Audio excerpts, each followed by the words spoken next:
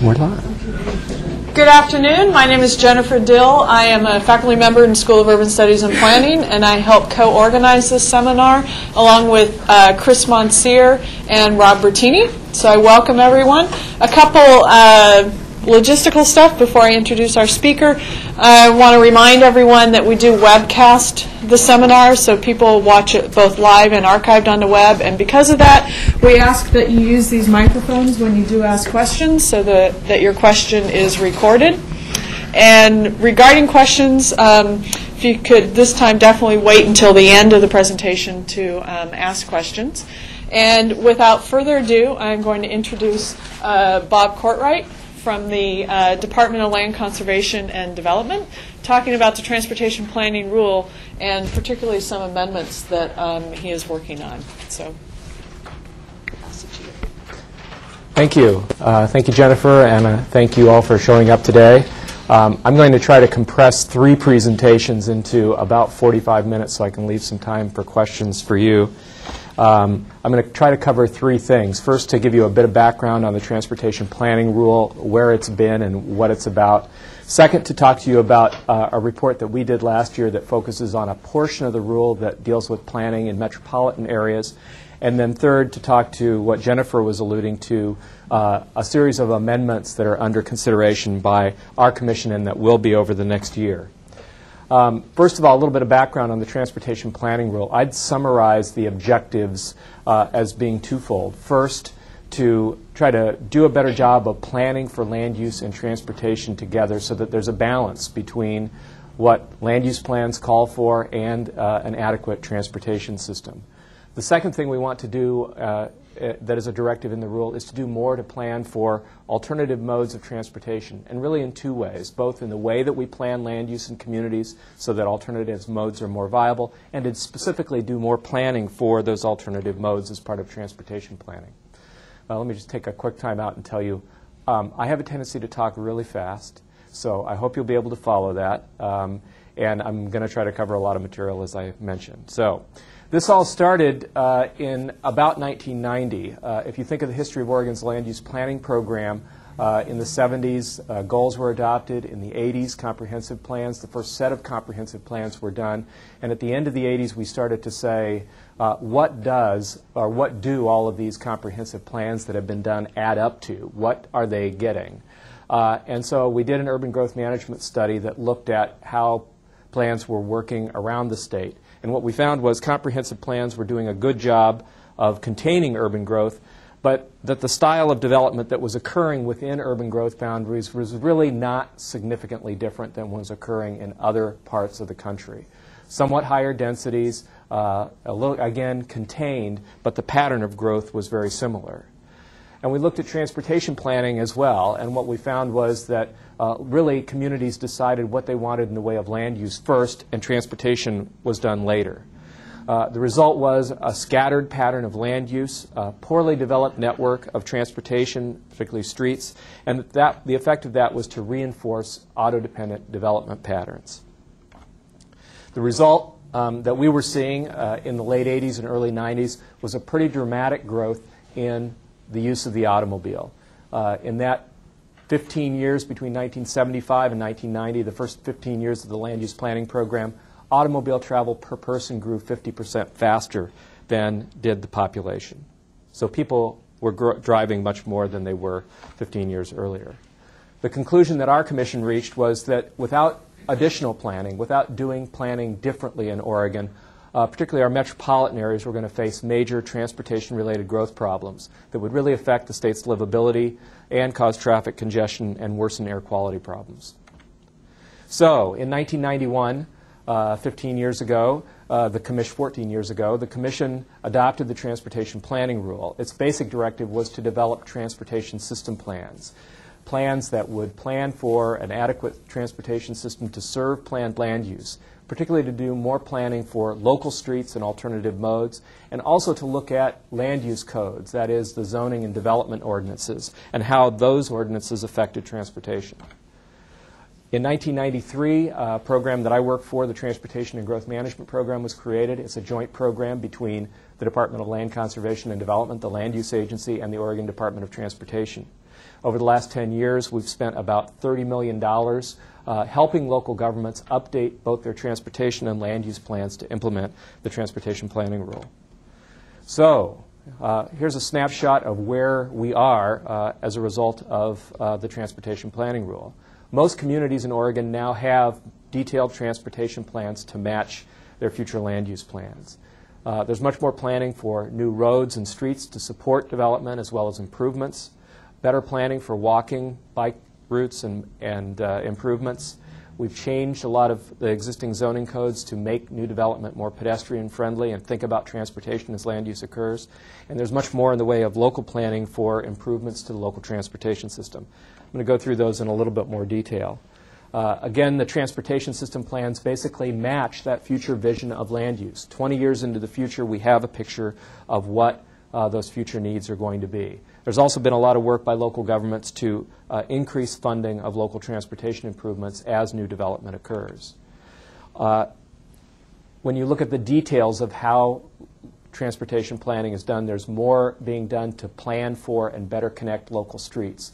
A pretty basic part of making communities more transit, pedestrian, and bicycle friendly is thinking about how local streets, not just the arterials and collectors, uh, line up. So uh, both development ordinances and local plans are doing a better job of connecting streets. Um, again, better planning for bike and pedestrian facilities, following up on broad mandates at the state level to do more on those things. Uh, we have much more detailed planning for that. Uh, there's also been a change in the way that uh, local governments think about local streets. Again, more street connections and street design that really uh, encourages and supports higher density and alternative modes. Transit, we've seen uh, over the last 15 years pretty significant expansion in transit service. Uh, communities are planning new service, and there's better coordination between land use and transit than there was 15 years ago. At the land use level, I think you can look around the state and see most communities looking inward, looking at their downtowns and saying, we're interested in revitalizing and redeveloping their plans, their downtowns uh, transportation planning to support that. And we're seeing a growing amount around the state of more innovative planning, of communities thinking about more than that typical uh, rural subdivision, uh, suburban subdivision pattern, thinking more about mixed use. On the ground, uh, there's more innovation. Uh, it's not as widespread as we might like, but it is starting to happen. And there are improvements in walkability in the way that suburban development is occurring. So, uh, not to let you think that we've solved all the problems, let me highlight for you the issues that we highlighted for our commission last year when we made this presentation. The first is that the underlying plans that were in place uh, in the 1990s are still there, and they are land use plans that pretty much call for a continuation of highway and auto oriented development patterns. They continue the historic patterns of development. Transportation system plans didn't change that or didn't require communities to change land use. So what we really have is TSPs that reflect a continuation of that pattern. Um, second thing that we've noticed is that as communities have done transportation system plans, they tend to rely on the state, that is ODOT, uh, to make large highway improvements to solve their transportation problems. It's easy to assume, there's no reason not to assume, that the state will not uh, come in and build a big highway to help solve your problem. And it tends to divert communities from thinking about other ways they might solve their problems uh, by making improvements to local roads or streets or by changing land use patterns so that that uh, big highway improvement isn't needed. The other thing, and I'll get to this again in the presentation, is there's a pretty substantial gap between what transportation system plans call for in the way of planned improvements and what uh, we are likely to afford in the way of future transportation uh, funding. Uh, in red, you can see the deficit that we calculated back in 2000 between what transportation system plans adopted by metropolitan areas called for and the likely revenues. And let me just give you a quick picture. That future forecast of revenue assumed that the gas tax would rise about 25 cents uh, from what it currently was or what it was at that time. Um, it hasn't gotten there yet and is not likely to. So uh, that assumes a pretty healthy increase in transportation revenue, um, and you can see there's a pretty substantial gap. Uh, the other thing is th- that there is a mismatch between the way, continues to be a mismatch between the way communities think about land use or regulate land use and the way we plan for transportation. Transportation system plans are based on averages, assumptions about what future land use is going to be. But actual zoning ordinances adopted locally tend to allow much more intense uses that are assumed, uh, particularly in commercial zones. You could have a doctor's office that generates just a few trips on the transportation system. You could have a fast food restaurant that generates even more. Um, and those averages work out, but um, that can result in some unintended consequences for the transportation system. The other thing we found, and again, I'll get to this later in the presentation, is that the way the rules are structured, we allow plan amendments uh, that would continue uh, the existing pattern of development, that suburban pattern of development. Basically, where there's adequate transportation capacity, a community can upzone property, can allow more intense development. So at fringe areas around our urban growth boundaries, we tend to get uh, low density development that can capture that available cap- capacity of the transportation system.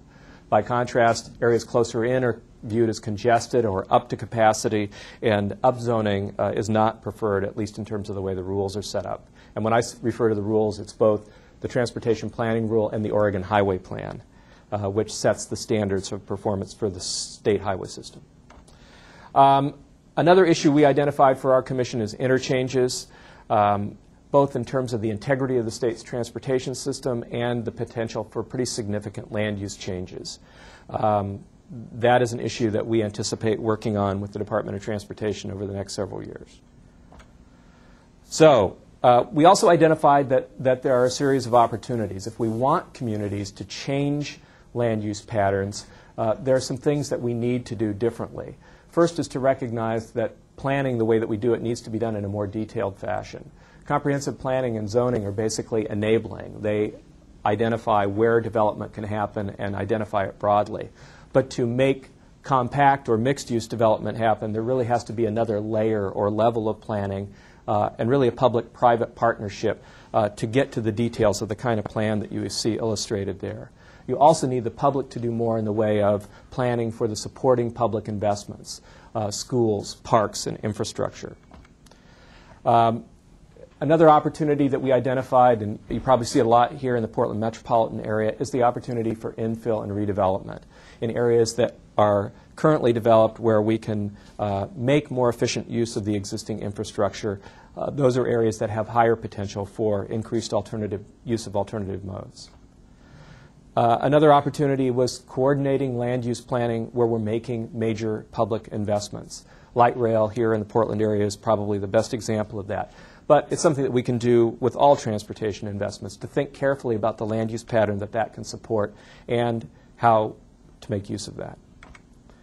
Um, also, to think more about innovative planning tools and opportunities. Uh, in the Portland metropolitan area, there's a little bit more uh, sophistication. Most of Oregon is more rural, small city, um, and really doesn't have quite all of those tools. So sharing a lot of the things that have been developed here is something we see as an opportunity uh, to improve planning in the state. Um, street design and the land use connection, this is where you're starting to get to the details of where land use and transportation line up on the ground. Uh, do more to bring together public works departments at the local level that are doing the street planning and management with the zoning and planning people so that we actually build in transportation choices. Okay, that ends the broad overview of the transportation planning rule. I wanted to talk to you a little bit about metropolitan planning because the transportation planning rule sets separate requirements for the state's metropolitan areas, and those are Portland, Salem, Eugene Springfield, Medford, and we have two new metropolitan areas, uh, Corvallis and Bend. So uh, last year we went through and did an evaluation of this portion of the rule. I'm going to give you a little bit of a background on it and then walk you through what the results of that evaluation were. The 1991 rule set a specific requirement for metropolitan areas, or MPOs. It said, over the next 20 years, we want you to plan for a 10% reduction in VMT, that's vehicle miles traveled per capita. So when you look and project where you're going to be 20 years from now, plan so that people have alternative transportation choices and that you expect the outcome will be reduced uh, vehicle travel. It focused on the outcome reduced vehicle travel. It left it up to each metropolitan area to figure out what mix of efforts, changing land use or adding alternative modes, would be used. This was on top of those requirements that I went through before, which deal with better planning for alternative modes, as well as doing planning for transportation demand management, parking, and uh, making changes to land use codes. In 1998, we did an evaluation of that rule and the efforts to implement it. And the two basic conclusions were that the target that we had set, a 10% reduction in VMT, was overly aggressive. Um, but it also found that the mix of actions that are available to uh, local governments or regional governments to achieve any reduction in vehicle travel were essentially known, and, and they are changing land use to get higher densities, particularly around uh, transit, um, expanding transit service, making improvements in alternative modes, and doing more to create uh, transportation demand management programs. So, later that year, the Commission adopted amendments to the rule that lowered that target for metropolitan areas for 10, from 10% to 5%. It allowed alternative standards, that is, things other than VMT to be the measure of whether or not the rule would be met. And it also said we need to do more in every metropolitan area to think about land use and transportation together in the form of an integrated land use and transportation plan. So this year we did, or last year we did, a report assessing how well this most recent set of amendments worked. And we looked in three areas planning for alternative modes, adoption of alternative standards, and then the integration of land use and transportation plans. What we found with alternative modes is that there's generally good progress in all of our metropolitan areas. Um, there's more planning for and provision of alternative modes as a matter of course in the way that transportation planning is done. There's more detailed planning for bikes and PEDs. Again, there's more investment. We also found, however, that there's room for improvement, especially at strategies that tie investments with uh, land use strategies, to think about um, making investments not simply that complete that last link in the bike system, but that support uh, land use patterns that communities want to achieve. On alternative standards, again, this is the option of doing something other than VMT to measure local progress. Uh, we left it up to local governments to come, or regional governments actually, to come up forward with uh, alternative standards. All four of our major metropolitan areas have opted for that. Three have them approved. Salem's still in progress. Uh, the switch is instead of measuring the outcome, there's much more of an emphasis on measuring efforts. That is, the things that we expect will have uh, an effect on reducing reliance on the automobile. Uh, and they typically are measuring investments, particularly investments and improvements in alternative modes, uh, increases in transit service as a measure of providing alternative modes, and then land use changes, particularly targeting uh, either population or employment for areas where you would expect that there are going to be higher rates of use of alternative modes of transportation or re- reduced vehicle travel. So the third part of that was integrated land use and transportation plans. We found that, and just to describe what this is, it's typically a vision and strategy for a different land use plan that includes both a land use component for changing uh, land use plan designations and zoning designations, and a transportation component, which is the supporting investments in facilities and services and TDM measures. So the status is that Portland has met this requirement basically through the 2040 plan and the framework plan and the subsequent implementation efforts.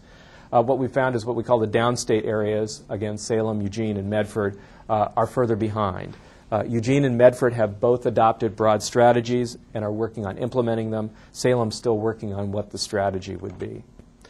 Um, we think the metropolitan Portland experience is instructive about what's necessary to make this work uh, communities really need to identify their centers, particularly for mixed use development. They need to target future population and employment to those centers and then start to make changes to planning and zoning to support those, and then do detailed transportation planning, dealing with street design, street connectivity, and alternative modes. And then finally, to target transportation investments to those areas to make those things happen. We also find that, found that there are barriers. This doesn't just happen. Um, resources is a big factor, funding and organization. Uh, the, again, the Portland metropolitan area is ahead in each of those areas in terms of targeting resources and funding to make this happen and being better organized than are the smaller metropolitan areas. Uh, we also found that new tools are needed. Again, this isn't simply planning for development and letting it happen. The public has more of a role to play in providing financial incentives uh, and helping move the market into this direction. Uh, Another barriers- barrier is there tends to be less consensus in the downstate areas about uh, making land use changes as a way to address these problems, in part because the congestion and growth problems are not viewed as severe in those other areas. Uh, We heard some uh, issues and concerns from the metropolitan areas, again, always that uh, the TPR is uh, overly ambitious in terms of making these changes, consequently that they need more time and resources and tools.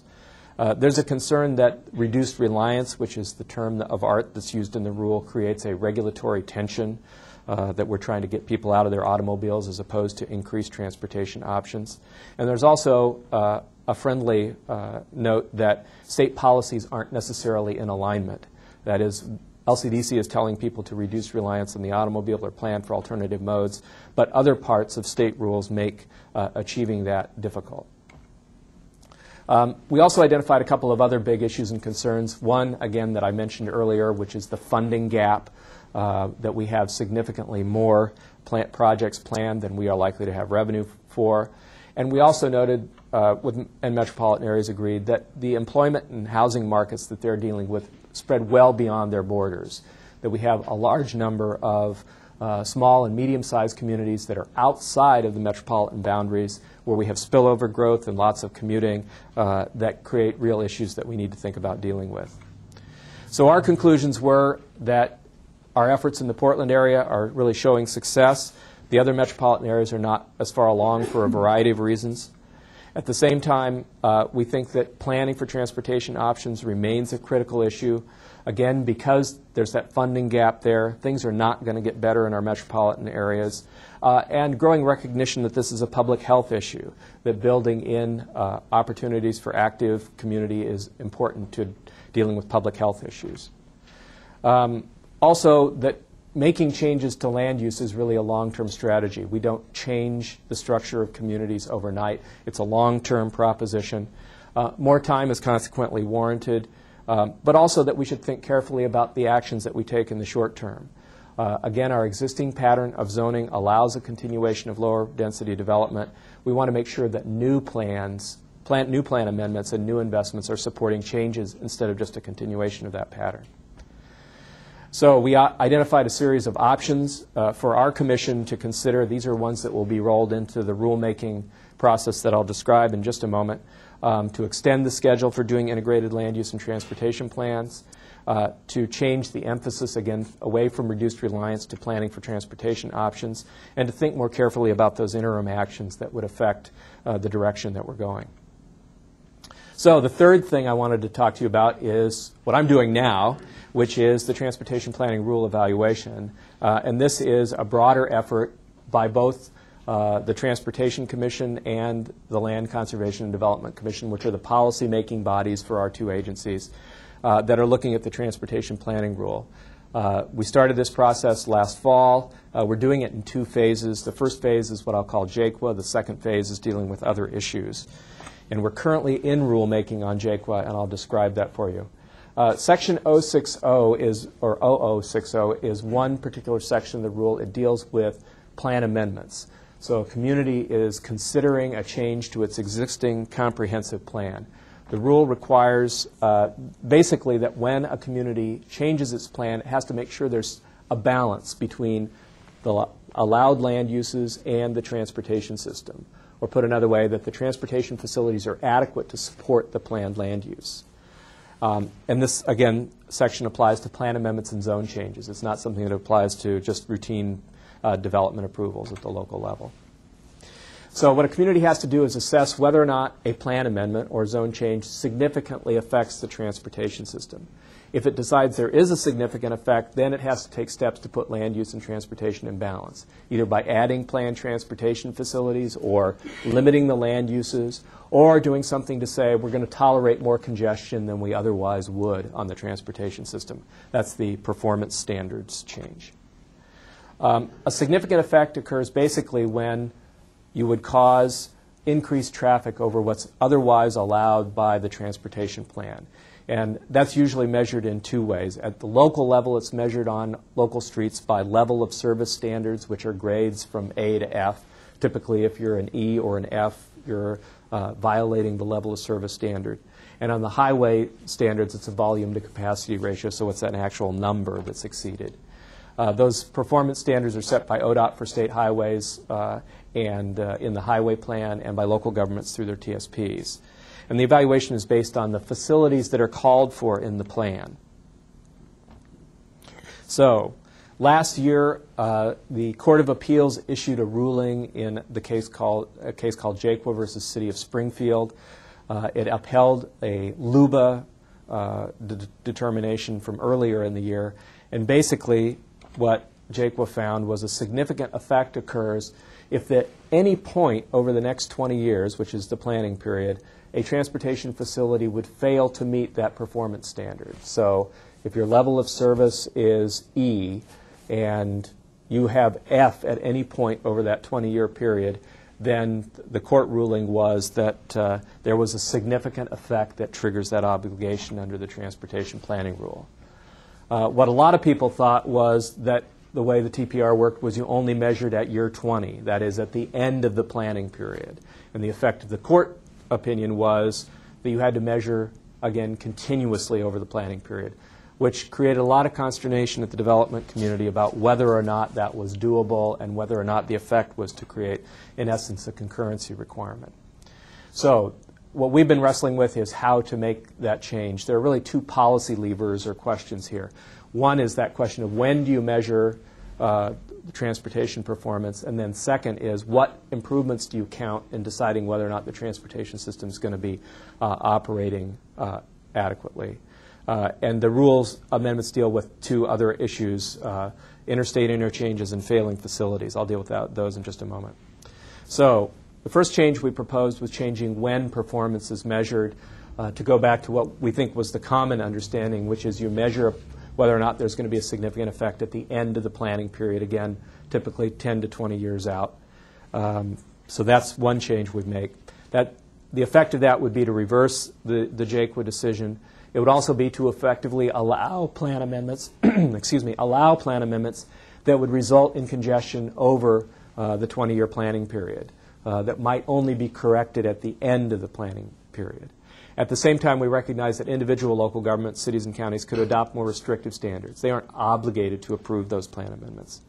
They could even adopt concurrency requirements. Um, the second thing we did is define the list of facilities that local governments could count in deciding whether or not those performance standards are met. And basically, it's where there's a funding commitment of some sort in place, and we've defined what those funding commitments are. First, there's some sort of funding plan as part of that state or local transportation system plan. In metropolitan areas, they include a financially constrained transportation uh, system plan that is based on, again, that revenue estimate that I talked about. Um, and then the third option that we gave was where either ODOT for state highways or the relevant local government says in writing that it's reasonably likely that that facility will be built at the end of the 20 year planning period. The effect of that, we think, is that it's going to limit uh, what improvements local governments rely on. It won't be that whole set of improvements that are called for in the transportation system plan. Um, and the important policy response there, we think, is to address what's been called the polite fiction. This is the term that LUBA and the Court of Appeals both used in their uh, decisions. Uh, the polite fiction being that transportation system plans are expecting all of these revenues to show up and whether or not it's reasonable to rely on those for land use purposes. The rule recommends uh, some different requirements at interstate interchanges, basically recognizing the special significance of interchanges to the state highway system. Um, so there's tighter standards there that basically say you can only rely on improvements that are currently funded or there's a clear funding commitment of some type. It doesn't allow for that judgment about whether or not things are reasonably likely, except where ODOT agrees that there's no significant adverse effect. Um, we think that that will uh, make it more likely that plan amendments or zone changes at interchange areas will be subject to review. It will trigger more coordination between ODOT and local governments and applicants to address how improvements at interchanges will be funded, and will create an incentive, hopefully, for development away from interchanges so that, that we don't affect their operation. Um, Finally, there's a provision for exemption for failing facilities, simply recognizing that a lot of our transportation system is currently over capacity, and it would allow uh, an exception to- for plan amendments where a facility is failing, where it's not expected to be fixed at the end of the planning period, and the applicant shows that they're going to otherwise mitigate and improve the operation of the system. So that's uh, a final provision that's there. Expected effect is to allow some additional development where applicants provide mitigation.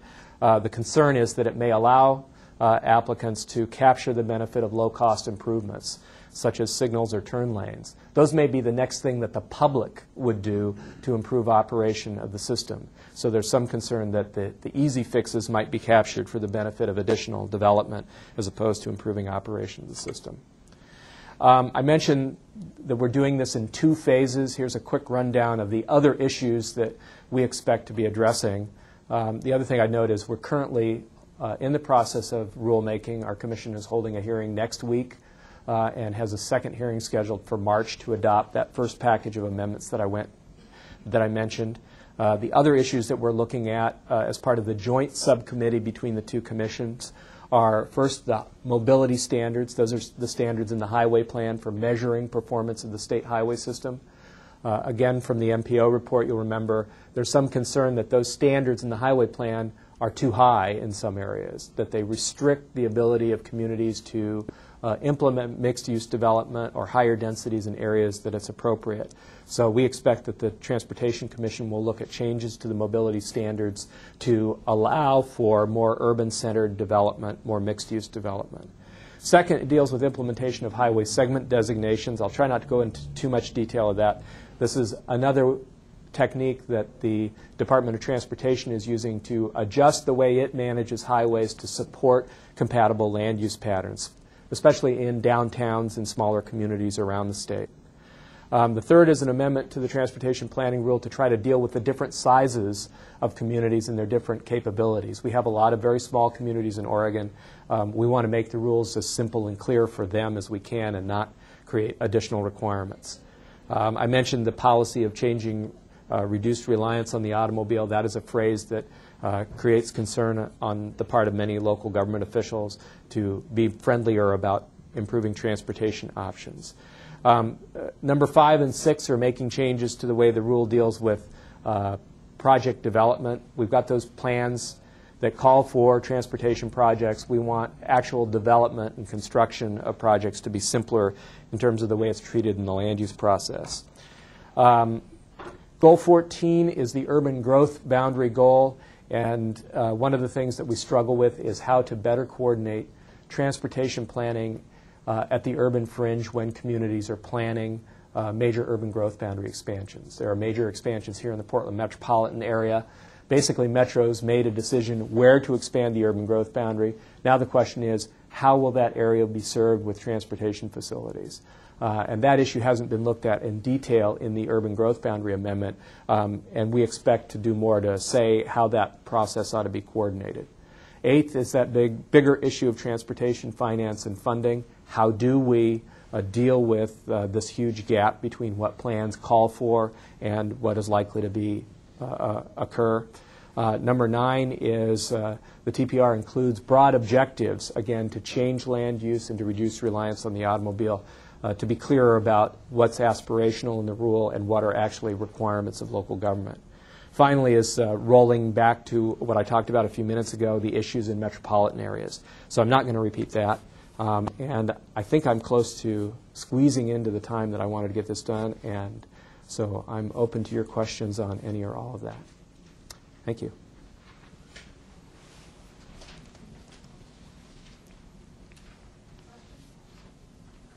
Yes. The points you make about the gap between transportation plans and funding is something that is always front and center because people look at these great plans for all these wonderful facilities, but a lot of times it never comes out. Um, is there maybe sort of a movement to make smaller plans that focus on what actually can be done as opposed to making larger plans that sort of a little bit more of a pie in the sky? Yes, and I mentioned that we have for the metropolitan areas, there's a federal requirement that requires a financially constrained plan. And I think that was really what that was targeted at, was a look nationally at the way planning was done said everybody's doing this. They're being overly optimistic that Congress is going to write a check to solve their problems, and that there should be more discipline in the process so that people are more realistic about the choices they make. That's been partially successful. Um, one of the things that we expect as a result of the amendments that we're making is that uh, communities will go back and amend their transportation system plans to adopt a list within a list. That is, they'll have a short list of here are the things that are reasonably likely to be funded in the next 20 years. Um, that's a start. Um, I think the bigger question that's lurking there is well, if those are the things that we're going to do in the next 20 years, how does that affect us realizing our land use vision? And you know, should the community be thinking differently about land use or zoning as a result? I mean, that's the underlying objective of the rule is to put land use and transportation in balance. And if we aren't realistic uh, about how land use and finance, uh, uh, you know, match up, are we really achieving that objective? Yes. Um, I hope I'm not uh, opening up a can of worms, but can you talk a little bit about 37? Measure 37. Yeah. I was going to list that, uh, you know, I went through the issues that we face, and I did the presentation last June before uh, Measure 37 was adopted. Um, I think that's a bigger question mark for the land use program. I think, you know, the state is currently in the process, and local governments are, of getting claims. Uh, most of those tend to be in rural areas, and I think most of those tend to be for, I mean, there are a few for major developments outside of urban areas. I think it remains to be seen whether or not any of those are likely to move forward. Uh, so I think it's mostly a question for uh, protection of resource lands. Uh, I can tell you at both the state and local level, I think it's really chilled uh, any efforts to adopt new land use regulations for fear it's going to trigger a new set of claims. Um, that's about all anybody can say right now about it. Uh, I think the general view is the measure is written uh, less than precisely and uh, is likely going to be changed or clarified by either the courts or the legislature. Yes. Can you briefly describe what, what exactly JAQUA is? Okay. Um, JAQUA was a, is a LUBA appeal, but it was an appeal of a decision by the City of Springfield to amend its comprehensive plan for a regional hospital. Basically, it's the Peace Health Hospital moving out of uh, an area between downtown and the University of Oregon and Eugene out to the fringe in Springfield. It'd be a major regional uh, medical facility. And the challenge that the JAQUA made, made was uh, that there were transportation impacts from moving that facility out that weren't adequately addressed uh, by the city of Springfield in making that plan amendment. Yes? Um, Do you see an implementation issue, or uh, actually, do you see a continuing implementation issue for local plans without increased funds from ODOT and a lack of TSP requirements? Yes, I mean, I, I think that's one of the big questions that's out there is, right now, TSPs include a lot of promises. I mean, if you go to a TSP, you're going to see projects that, you know, meet a whole different, whole set of, bunch of different sets of needs or opportunities. Um, which ones either ODOT selects to implement or that local communities select to implement are really going to shape what land use in Oregon communities look like, or going to shape um, the kind of transportation system we have. So it's not clear from either the land use plans or the transportation plans we have exactly what the future is going to look like. Uh, again, it's going to be shaped by decisions about investments in transportation. Yes. It seems like a lot of new communities that are developing are following all these standards, but what's being done for the well-established communities to start obtaining these goals without completely redesigning themselves? I, I I think that it's slower, and it depends. I mean, you see it probably here more in the Portland metropolitan area than you do anywhere else in the state. Is when there's a constraint on where future development can go, then communities start to look uh, at the other opportunities. It's more expensive and more difficult to redevelop an area that's already been developed. I mean, development community is looking at the fixed costs of uh, you know, getting a plan amendment and getting an approval in place and making a change. It's easier to deal with greenfield property at the edge of the urban growth boundary. Uh, It's easier to get a loan on that. The costs of um, doing those things are much lower. So that's why the public role is much more important, for the public to say, we want that to happen, and to make the supporting public investments. And I think more and more communities around the state are doing that. And I pointed out, that there was a slide showing the downtowns, is most communities have at least adopted an aspiration that says, gee, we really want downtown to be a more vital place. We want more businesses there. It's the heart of the community. And you can see the start of efforts to make that happen. Um, Astoria is a good example. Uh, they're starting to create urban renewal districts in these smaller communities uh, and bringing public investments. Um, and the role of the state highway in community like that, a lot of communities around the state, is you know, the main street is a state highway. So the state has a really important role in how it manages uh, and plans for the future of the highway is those storefront businesses that are really the essence of a main street in a downtown are going to succeed or fail in large part on how the highway is planned and managed, or at least it's very important to making that happen. So I think that's, those are the starting points for a lot of communities to start to uh, make those things happen. Yes? I was curious about why 10% was chosen as the VMT reduction goal back in 1991, and then with the 1998 amendments, what other standards are being used besides VMT for measurement? Okay. Um, I, I think it was just a general sense of we wanted a clear and objective target to measure. That was the, the most important thing. Uh, 10% seemed to line up with uh, a general sense of what was doable and that would begin to make a difference. Uh, and it's interesting because uh, looking, as we did in 1997, 98, when we looked at the rule, um, what we were hearing from Metro, which was the farthest along, was they said it was doable for the Portland metropolitan area. And I'm trying to remember, and maybe other folks know, uh, whether or not it's come close uh, in terms of actually achieving that objective.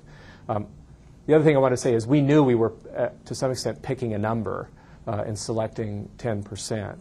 Um, and that's one of the reasons the Commission committed to evaluate in 1997 and actually at periodic intervals afterwards is we knew that we were setting a pretty basic change in policy and uh, we weren't certain what was attainable and wanted to make sure that it was both reasonable and realistic. And uh, so that's why we made the adjustment.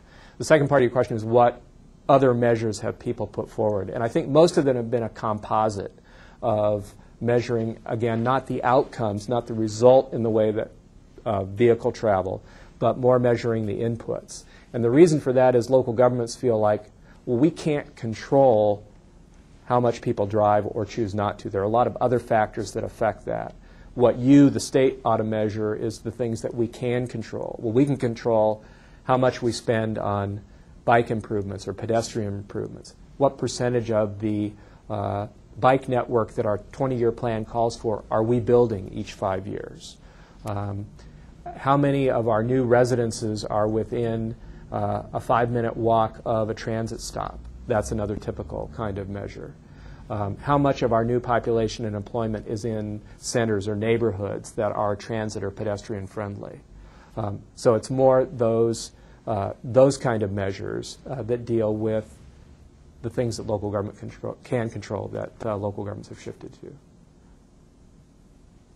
Yes? Has there been any consideration of um, alternative engineering techniques, for example, second-generation traffic calming, things like that? Um, I think that's certainly supporting. I will tell you that in most of the state, uh, and, and I alluded this, to this a little bit, is land use planning and transportation planning are done by separate shops in local government. The land use planning is done by land use planners in this office, and the planning for the transportation system is done by the public works guys that are in another office. So the, the marriage of land use and transportation planning, to a large extent, has been a shotgun marriage uh, between two very different views of, of this and who's responsible for what. Um, I think there's been more and more of that. We have done it mostly through directing communities to plan for street connections, um, which is typically done at the subdivision or development approval level, so that's the land use planning shop. Um, and it's also dealt with street standards, which immediately starts to get into engineering, as we've required communities to uh, reduce their residential street widths. They're before the rule was adopted, they were generally 34 to 36 feet in most communities, and we advocate something on the order of 28 feet, both to support more efficient ur- use of urban land and to create a street that's more friendly to uh, alternative modes of transportation. Um, and that's been a difficult thing to do in a lot of communities, is people, for one reason or another, don't like uh, the state telling them what to do with residential streets. At the same time, I think we see, especially with connectivity, that more communities are dealing with street calming uh, devices and measures. Uh, and part of that is the street design issue, is if you make a street overly wide, you're kind of inviting traffic to go uh, faster. Um, and that generates a lot of the concerns that lead to traffic calming. Um, part of it has to do with the community and where they're at in terms of perceiving that as an issue and where their public works people are at addressing it. Yes? What has the initial response been from local cities and counties outside the metro areas to this revision and evaluation of the TPR? Well, we haven't received a whole lot of response yet. This is to the, the JAQUA proposed plan amendments. Uh, I think the biggest concern that we hear from local governments is, boy, that's going to be difficult for us to uh, make this decision about which projects are reasonably likely to be funded. If you think about it, that TSP includes everybody's project right now, and making the decision that somebody's project is going to be funded and somebody else's isn't um, is, you know, saying somebody isn't going to get what they want, and that's probably a very difficult decision to make. Um, but I mean, at some point we have to address that uh, that polite fiction of what is going to get funded and what isn't. So. Yes. Can you give some more information about the regulatory um, tension with respect to the reduced reliance termage?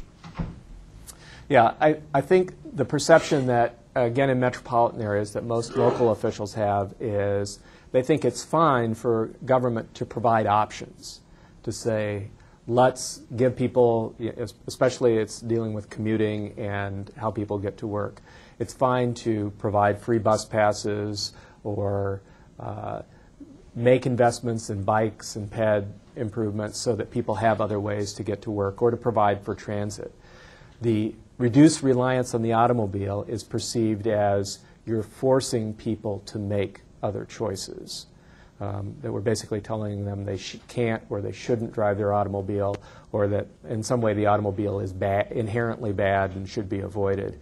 And so it just it creates a tension uh, or a less reception for what we think the rule is really after, which is do you plan your community in a way that makes those options real and available for people so that they choose them um, or not? Um, really, it's just a way of measuring uh, how well we're doing in providing options, not something that we're trying to force communities to do. We have a question from a web viewer.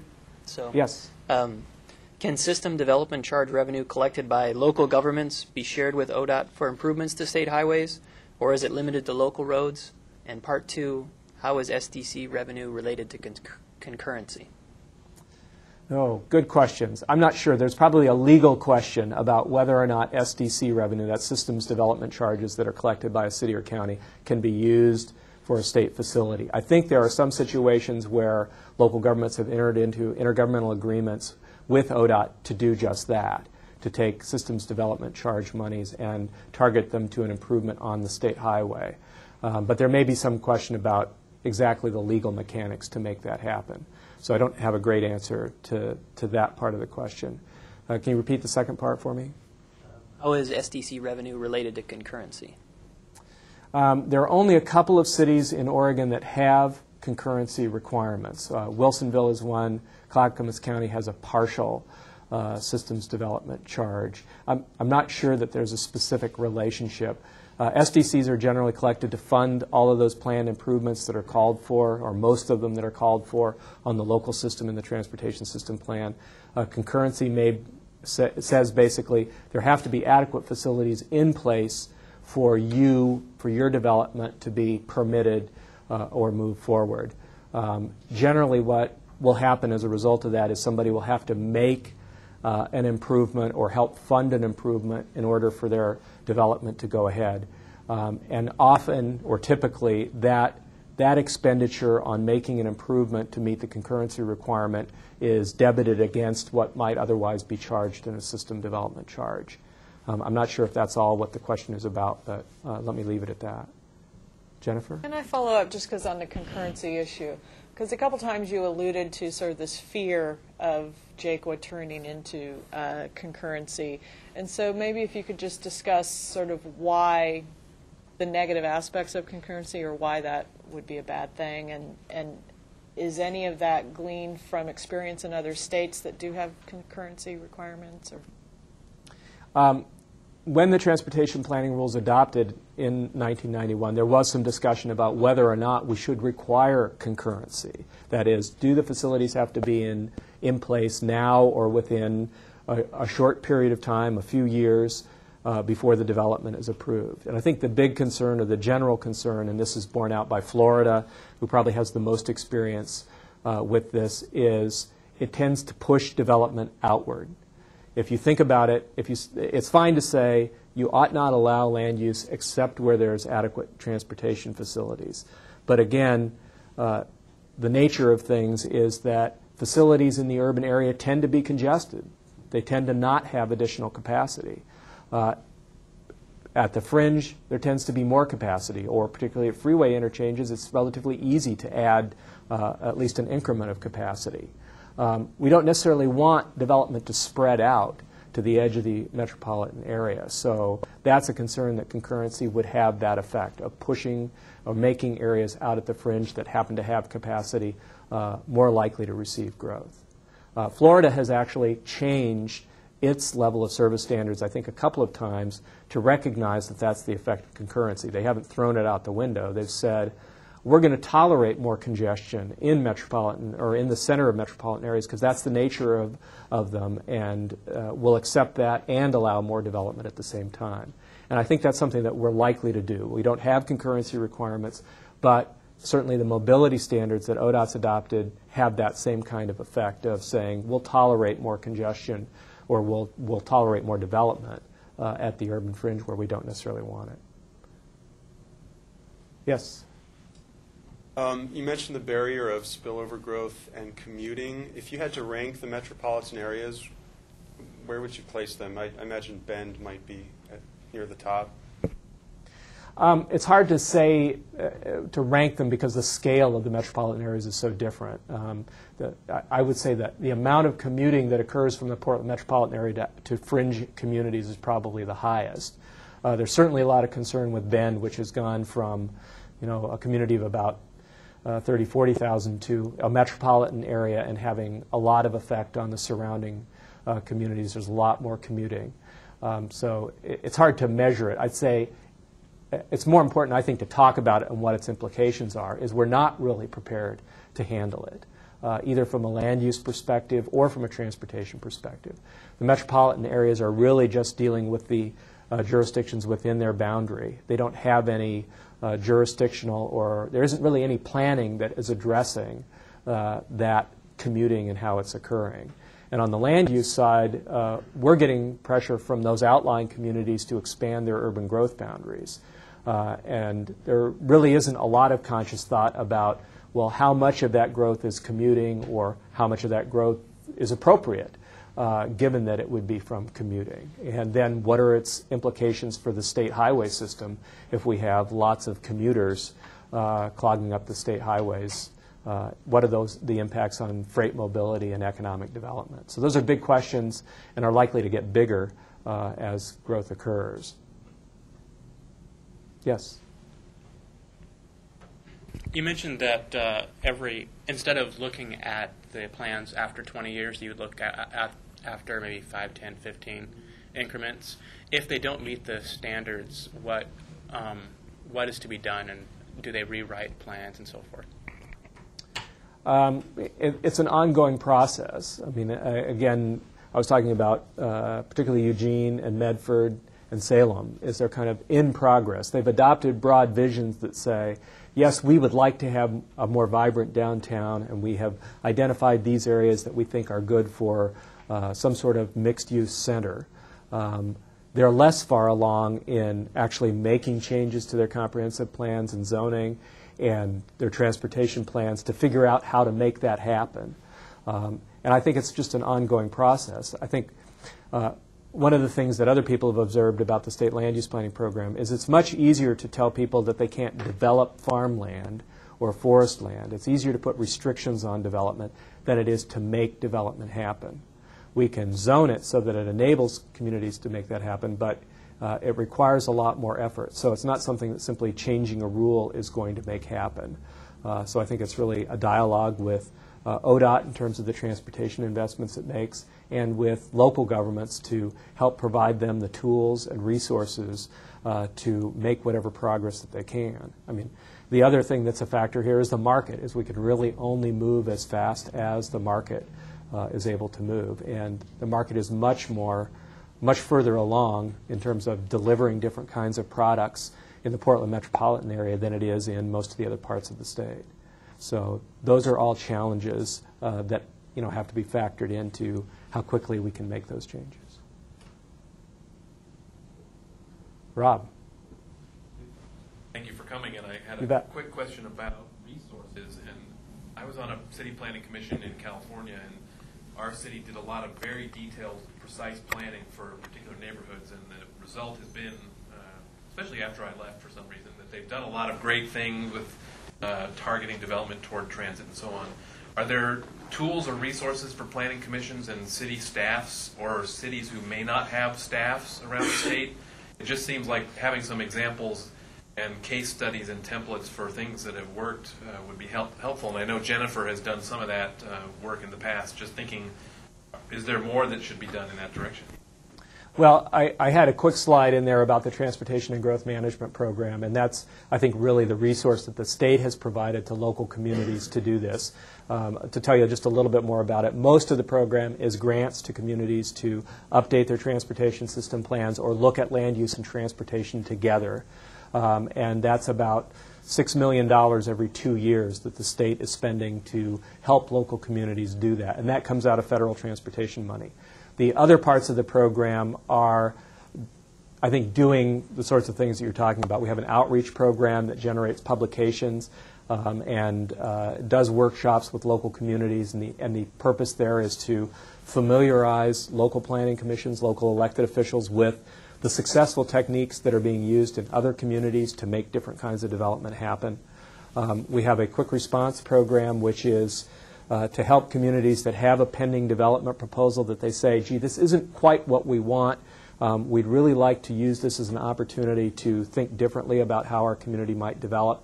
Um, and that's usually an ability the local governments don't have. I mean, when somebody comes in with a land use application in Oregon, you've got 120 days to review it and approve it. You're in essentially a quasi-judicial kind of role.